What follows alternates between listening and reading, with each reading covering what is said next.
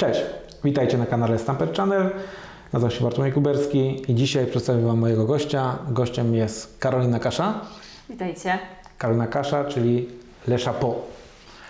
No i tutaj się kończy nasza wiedza. Powiedz nam, czym się Le Chapeau zajmuje. A prowadzimy butik z kapeluszami w Krakowie przy ulicy Stradomskiej 2. E, Doradzamy, jak odpowiednio e, dobrać nakrycie głowy, kapelusz, kaszkiet, beret, e, fascynator, wszystko, co się ubiera na głowę, co ma nas chronić przed zimnem, ale również zdobić. Zdobić. No Tak. właśnie, no dzisiaj chronić przed zimnem i jeszcze właśnie e, zdobić. E, Okej, ale skąd pomysł na taki biznes? Wiesz co, mój narzeczony przyjechał e, z Francji do Polski 3 lata temu. Przyje, przyje, przyjechał z kapeluszem na głowie. Okej. No i e, nigdy się z nim nie rozstawał. E, on uwielbiał kapelusze, zawsze nosił, a ja zawsze marzyłam o biznesie, wspólnym biznesie. No i tak powstał właśnie pomysł na, kap- na butik z kapeluszami.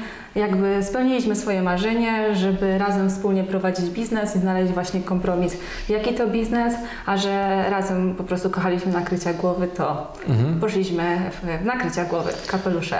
Jasne, ale y, tutaj z tego, co mieliśmy też możliwość chwilkę porozmawiać przed, przed nagraniem, e, to to nie jest taka e, prosta rzecz, mówiąc wprost, albo mówiąc, nie tylko sprzedajesz kapelusze, ale też te kapelusze wykańczacie sami, tak? Tak, tak, też Okej. wykańczę. Stworzyliśmy własną kolekcję Le Chapeau. Jest to e, dosyć skromna kolekcja, bo składa się z trzech modeli. Mhm. E, są te fe- fedory właśnie tego typu nakrycia głowy. Fedora to kształt.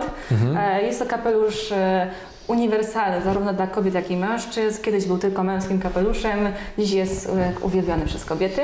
Mhm. E, Także e, jest to model, który możemy sobie po prostu ubierać i nosić jak nam się tylko istnie podoba. Ja je wykańczam w taki sposób, jak sobie klient zażyczy. Więc Mhm. może to być właśnie zielona opaska, może to być czarna wstążka, e, czy jakiś fajny inny dodatek, piórko. Jakby dużo podróżujemy i zawsze szukamy e, w różnych pasmanteriach właśnie takich ciekawych akcesoriów, e, które można potem fajnie wykorzystać do ozdabiania kapelusza. Jasne, a tutaj właśnie powiedziałeś też na wstępie, że to narzeczony miał kapelusz, tak? Tak, A tak. teraz jak gdyby macie ka- m, kapelusze i ten, ten jest uniwersalny, unisex jak to się Tak, mówi teraz, tak. tak. Że jest i dla kobiet i dla mę- mężczyzn, ale w sklepie macie zarówno dla, dla mężczyzn y, okrycie? Asortyment tak jak Tak. i dla kobiet. Jakby staramy się mieć asortyment dla wszystkich tak naprawdę e, i tak też dostosować się troszkę do wieku bar- i retro nakrycia i nowoczesne nakrycia, Mhm. czy jakieś fajne opaski, e, czy, czy właśnie toczki e, na głowę. Jakby staramy się, aby ten asortyment był naprawdę e, no, rozbudowany Mhm. i żeby każdy tam znalazł coś dla siebie.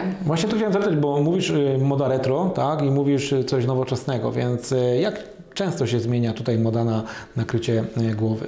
Wiesz co, myślę, że kapelusze wracają i ta moda też wraca. E, właśnie moda retro, lat, lata 20 wracają. To jest właśnie piękne, że, że e, mi- mieszamy troszkę tą nowoczesność e, właśnie z, z tym, co było, co już minęło, a jakby staramy się to po prostu na nowo odrodzić. I to jest właśnie w tym wszystkim piękne, że ludzie chcą być coraz bardziej oryginalni, chcą mieć coś fajnego na głowie, chcą się fajnie ubierać, e, chcą mieszać wzory, kolory i e, myślę, że ta, ta moda zmierza w tym dobrym kierunku, że jakby odchodzą te wszystkie szarości, to, że się wszyscy ubieramy na jeden kolor czarny, boimy się jakichś e, oryginalnych dodatków i a tak staramy się po prostu tym bawić. Staramy się bawić tą modą i, e, i właśnie to robimy na co dzień. Okej, tutaj mówisz, że s- swoją kolekcję wykańczasz, mówiąc sama, tworzysz oryginalne e, tutaj rzeczy, ale też zapewne mm, są firmy, które robią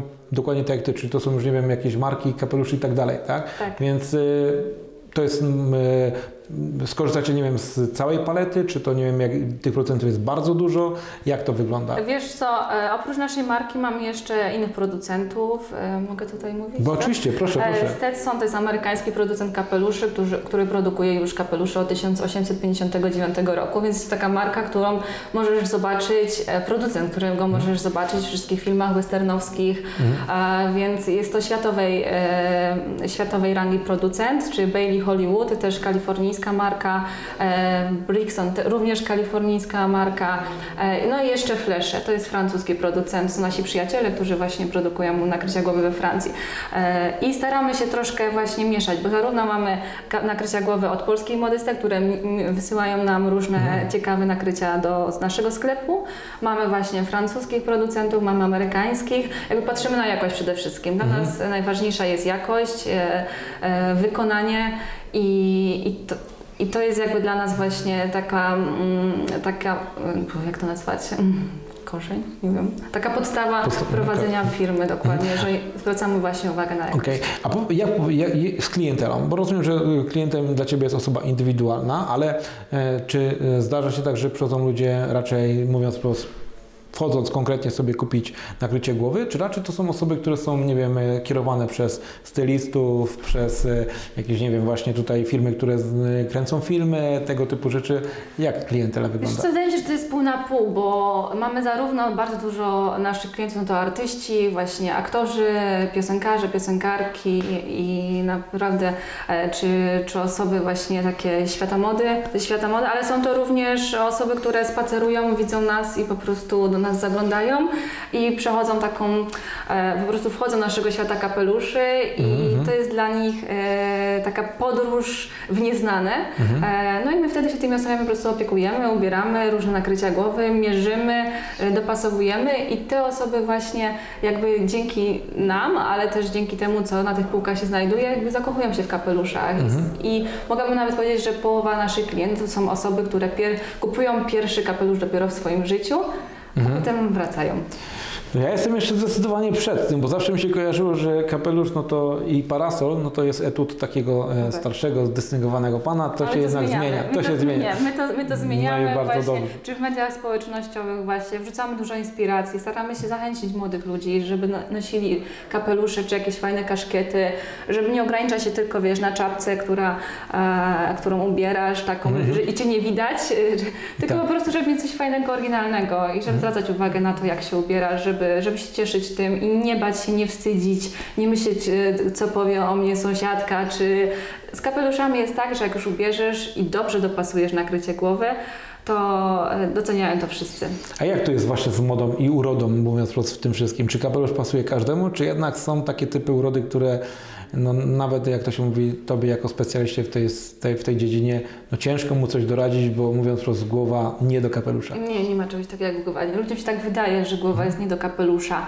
Wydaje się im tylko dlatego, że tak, tak ja mam osobiście doświadczenie, że poszli gdzieś do jakiegoś, e, do jakiejś galerii, przymierzyli nakrycie głowy, gdzie jest tylko jedne do przymierzenia i stwierdzili, że źle wyglądają. Albo wzięli gdzieś tam kapelusz e, od babci czy od dziadka i tak samo są nie dla mnie. Potem przychodzą takie osoby i, i właśnie opowiadają mi swoje doświadczenia, złe doświadczenia z kapeluszami i ja to zmieniam.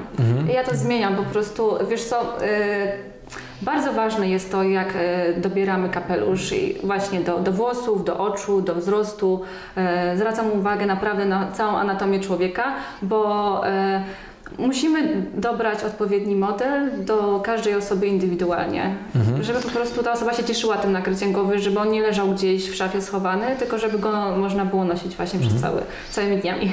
Tutaj mówiąc wprost, jak to się mówi, to nie będzie żart prowadzącego, ale mówiąc, mówią, mówią, że każdemu pasuje sombrero, bo wtedy twarzy nie widać spod tego, bo ten kapelusz ma takie e, e, rondo. Ale, nie, ale rzeczywiście, e, właśnie powiem, powiem jeszcze w ten sposób, ponieważ ty ponieważ wspomniałeś o social mediach, tak, więc ten, więc y, czy waszą kolekcję, czy ktoś jak gdyby, jak gdyby chciał się wcześniej przygotować do tego, gdzie, gdzie można zobaczyć wasze, wasz asortyment? Wiesz co, my jesteśmy, mamy, prowadzimy sklep internetowy, prowadzimy konto na Instagramie Kolesza Puchat Shop Kraków, e, prowadzimy konto na Facebooku, no staramy się gdzieś tam wszędzie w tych mediach e, uczestniczyć, gdzie tylko jest możliwość właśnie jakiejś reklamy w internecie, to tam staramy się pojawić.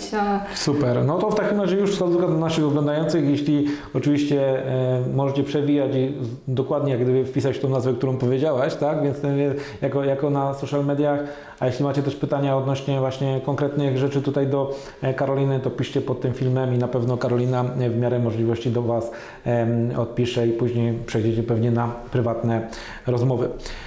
Ale no okej. Ja się, a propos prze- przechodzenia na prywatne rozmowy, chciałam właśnie tylko dodać, że fajne jest to, że ludzie teraz e, w czasach właśnie no, obecnych e, dużo właśnie dzwonią, piszą, wysyłają zdjęć i Mhm. ja, się, ja się z tego bardzo cieszę, że po prostu jakby e, nawiązuje troszkę taki kontakt wirtualny z klientem, ale dzięki temu e, właśnie jakby te nakrycia się sprzedają online. Dzięki temu, że ktoś Ci zaufa, wyśle Ci Twoje zdjęcie, powiedz czego oczekuje i właśnie w taki sposób właśnie Mhm. ci klienci się nie obawiają, wysyłają, piszą w mediach społecznościowych i tak, tak to wszystko fajnie się kręci. No to super, no to tak a propos do tego no, zachęcania, to tak. ja również zachęcam, bo naprawdę to działa. Okej, no znaczy powiem tak, że wiesz, e, nasi widzowie, zresztą Ty też wspomniałeś, że e, kilka odcinków e, naszych widziałeś, za co dziękuję Tak, oczywiście, tak. Ale, ale kwestia jest taka, że, że no, na, na tym kanale już mieliśmy rozmowy takie, które mówiąc wprost wydają się e, absurdalne, kiedy mm, jedna z moich, jedna z moich gości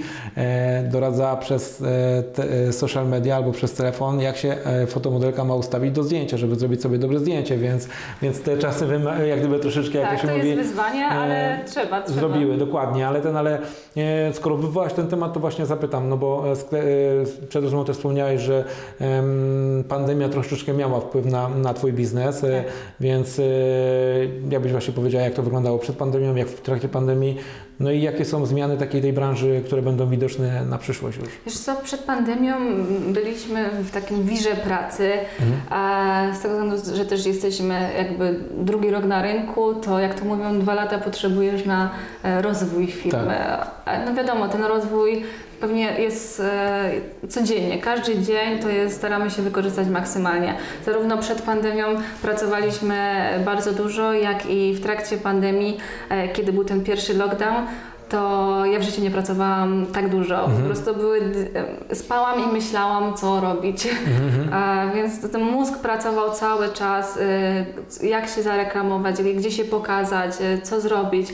Ale jakby to nas troszkę zmotywowało też do, Mhm. do takiej właśnie lepszych działań, większych działań. No i e, każdy dzień to tak naprawdę, e, no w, każdy dzień wkładamy bardzo dużo, dużo pracy. Mhm.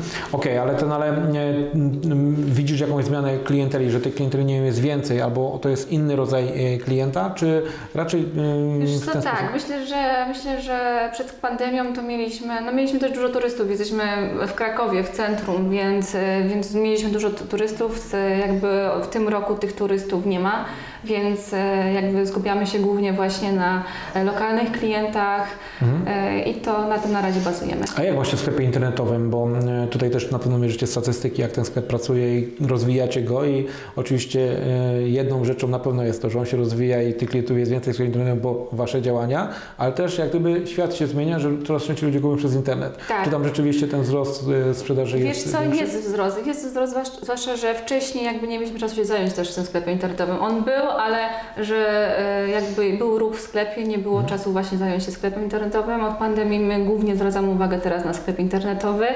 E, No i staramy się go tak właśnie ulepszać, aby klient e, śmiało za nas zadzwonił, napisał, wysłał zdjęcie, żeby był ten kontakt z każdym klientem, żeby bo kupić kapelusz przez internet to naprawdę nie lada wyzwanie. Trzeba znać swój obwód głowy, trzeba no, czasami znać i producenta i wiedzieć, że ten model będzie dla Ciebie dobry, więc, więc dlatego właśnie zachęcam wszystkich, aby nie bali się napisać maila czy zadzwonić, bo no, jesteśmy cały czas jakby online i pod telefonem i po prostu chcemy, chcemy doradzić, żeby nie było potem zwrotów. Jakby, e, no i te, te zwroty na szczęście się rzadko zdarzają. A mm, tutaj powiem tak, jako kanał, jako Stamper, e, jako Stamper w ogóle działamy na rynku e, klienta i mm, lojalności tego klienta. To mm, tutaj zapytam, jak to jest w przypadku Twojego biznesu? Czy ten klient, czy mieć kapelusz to mieć jeden kapelusz, czy jak się kupi kapelusz to tak jak z tatuażem, że zaraz się chce mieć drugi, trzeci, Tak jak tatuażem, całą jak- kolekcję? Tak jak z tatuażem. Ja to mówię tak jak z torebką. Jak z torebką dokładnie, czy jak z torebką? jest, jest coś w tym, że jak już e, kupisz fajny kapelusz, się w nim dobrze czujesz, też chcesz, chcesz mieć inny, inny Mhm, kolor, mhm. inny fason. E, Okej, tak jak czyli tak klienci raczej wracają. Wracają, tak. Wracają. Właśnie to jest piękne, że klienci wracają. I jakby i wracają i tak zauważyłam, że to też e, nie chcę się przechwalać, ale, Nie chwal się tutaj jak gdyby generalnie ale, ale wracają i wiesz co, i nas pamiętają, my ich pamiętamy, wracają do nas i jakby ta, ta więź z klientem jest cały czas od nowa, od nowa odbudowywana i jakby utrzymujemy ten stały kontakt z klientami. Właśnie to jest piękne w tym biznesie, że ten klient nie jest anonimowy, to nie jest osoba, która wiesz, wejdzie, wybierze sobie i wyjdzie. Nie da się. Kapelusz musisz przymierzyć z profesjonalistą, właśnie z osobą, która Ci doradzi. I właśnie my tak staramy się tym klientom pomagać, doradzać, że my zapamiętujemy klientów, klient nas zapamiętuje i tworzy się taka fajna więź właśnie między konsumentem a kupującym. E, Fajnie, fajnie. A powiedz, bo, ten, bo generalnie y, na pewno to już jest tak obszerny temat, jeśli chodzi o kapelusz, y, nakrycie głowy, że nie potrzeba nic więcej, żeby y, się spełnić, realizować swoje marzenia w biznesie, ale czy są jakieś plany, nie wiem, rozszerzenia asortymentu, czy oprócz kapeluszy coś jeszcze Cię fascynuje? Wiesz co, e, oprócz kapeluszy są również kaszkiety, e, są różne modele kaszkietów, są czapki, są berety, są opaski, więc asortyment Ale generalnie naprawdę- na, nakrycie głowy. Nakrycia głowy, na tym się skupiam. Nie chcemy iść w żadne inne dodatki, bo jakby po prostu e, kapelusze to jest nasze hobby, to jest to, czym się fascynujemy i oczywiście można by poszerzyć asortyment o inne dodatki, ale staramy się w to nie wchodzić, bo naprawdę kapelusze zajmują tyle czasu i wszystkie nakrycia głowy, że chcemy być wyspecjalizowanym właśnie sklepem nakrycia głowy, a i- na inne dodatki może kiedyś przyjdzie czas, ale na razie tego nie planujemy. Okej, a jeśli chodzi o, o firmę, no jest y, punkt, jak to mówią, stacjonarny, Tak. jest sklep internetowy, są jeszcze social media, więc mówiąc wprost, jak gdyby promocja jest. Są jakieś plany dalej? Co, co jeszcze? Jak to się gdzie jeszcze zobaczymy Le Chapeau? Wiesz co, chcielibyśmy na pewno, znaczy chcielibyśmy, myślę, że już pomału wchodzimy na, gdzieś tam na rynek europejski, e, szukamy właśnie e, butików, w których możemy sprzedawać nasze nakrycia głowy, naszej kolekcji. Gdzieś pomału się w tym kierunku rozwijamy i też w tym kierunku chcemy iść.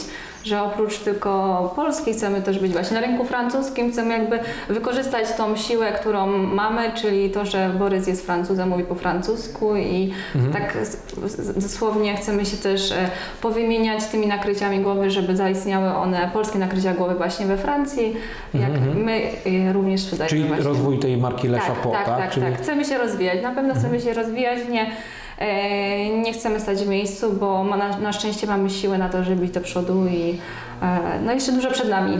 No oczywiście i tego oczywiście życzymy, żeby się spełniały krok po kroku Wasze e, plany. Ale Karolina, no powiedz tak, że właśnie w związku z tym, że Twoim klientem jest zarówno firma, bo mówimy tutaj o rozwoju, czyli inne butiki muszą istnieć, żeby kupowały od Was i uzupełniały kolekcje swoje. E, dwa, klient indywidualny, który też jak gdyby chce się wyróżniać, czy celebryci, których tutaj Tak. wspominaliśmy, to, to ten biznes e, muszą, musi ich biznes istnieć, żeby ten, żeby mogli kupować u Was, czyli jedno, jednoznacznie widać, że biznes to system naczyń powiązanych. Dokładnie. Więc dlatego właśnie jesteś tutaj z nami, ponieważ jak gdyby Twoje słowo może przyczynić się do tego, że skutki tego kryzysu będą jak najmniejsze. I o to właśnie bym Cię chciał teraz zapytać, co przedsiębiorcy powinni robić? To, co Ty powiedziałeś, że nie spałaś tyle nocy i myślałeś, co jeszcze, co jeszcze, co jeszcze, to co tak w takim telegraficznym skrócie byś doradzała innym przedsiębiorcom teraz i w tej krótkiej przyszłości, żeby e, zrobili ze swoim biznesem, no tak, żebyśmy po prostu przetrwali. Wiesz co, mm, osobiście mi się wydaje, że należy się bardzo wspierać, tak, e, wspierać wspólnie.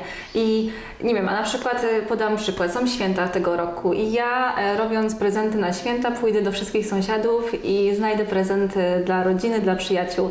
I do tego też zachęcam, żeby właśnie wspierać się, żeby, bo tak naprawdę gdzieś wydamy jakąś kwotę pieniędzy i ta kwota kiedyś w przyszłości do nas wróci. I zachęcam właśnie wszystkich przedsiębiorców, żeby lokalnie kupowali, lokalnie robili zakupy, żeby wyszukiwali jakichś właśnie mm, producentów, e, którzy robią piękne rękodzieła, które można właśnie niekoniecznie iść kupić coś chińskiego e, w jakimś supermarkecie, ale żeby właśnie coś e, miało wartość i sentyment. Do tego zachęcam. No i co więcej, czyli tak naprawdę A może nic więcej właśnie nie trzeba, może wystarczy się właśnie wspierać. To, Myślę, że takie wsparcie między przedsiębiorcami to jest coś, co e, no, polecam i zachęcam wszystkich do tego, bo to, e, to jest piękne i powiem Ci, na Stradomskiej mamy dużo fajnych sąsiadów, którzy Mhm. robią u nas zakupy, my robimy u nich i ja widzę, że to działa. Wcześniej mieliśmy e, sklep, sklep na innej ulicy i tak samo każdy się gdzieś wspierał i to było piękne, bo to jest taki networking, który się powiększa i dobre słowo idzie dalej. Jasne. No, generalnie rzecz mówiąc, kupujmy w sąsiedztwie. Państwo, jak gdyby wiadomo, to jest też dobry właśnie pomysł, kiedy e, wśród swoich bliskich chcielibyście kogoś obdarować tak pięknym kapeluszem, to na pewno zdjęcia tej osoby macie. E, Karolina jest w stanie Wam doradzić na, po, na podstawie tak, zdjęcia. z chęcią. Więc, ten, więc piszcie pod tym filmem, na pewno Karolina będzie jak gdyby z każdego z Was chciała e, usatysfakcjonować i, i tą ofertę stworzyć.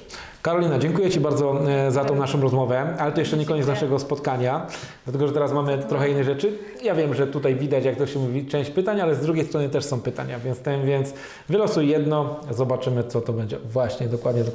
To prawda losujemy nie z kapelusza, ale może powinniśmy. Proszę. Pokaż, co to masz.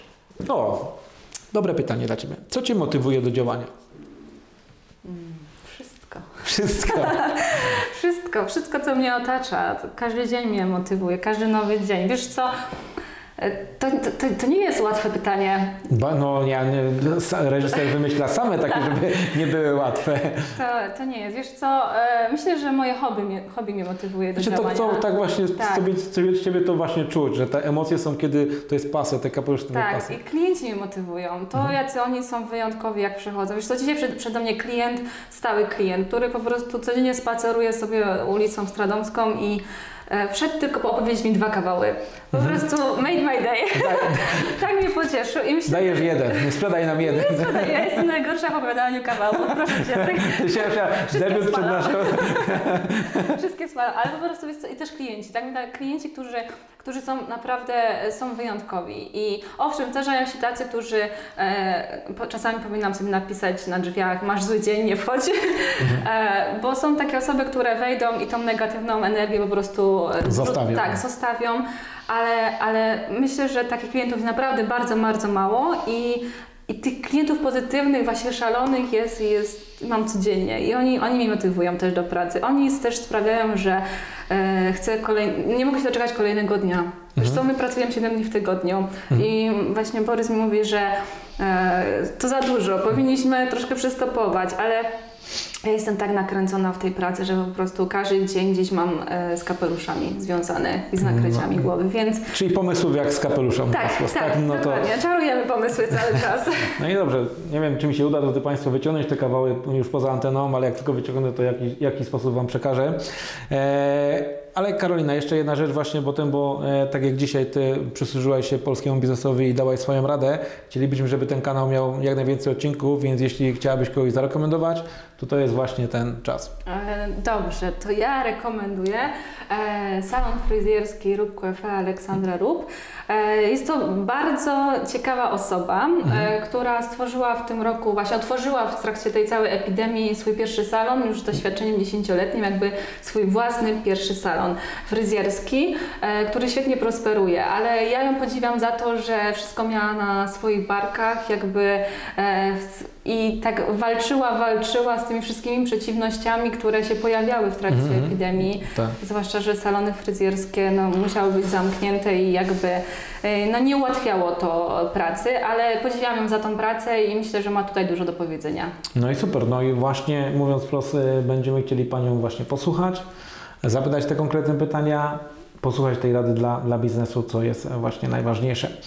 E, dziękuję Ci jeszcze raz. E, w związku z tym, że ten odcinek jest takim odcinkiem blisko przedświątecznym, więc zapytam najpierw Ciebie, czego chciałabyś sobie życzyć na święta i w ogóle na przyszłość dla Twojego biznesu?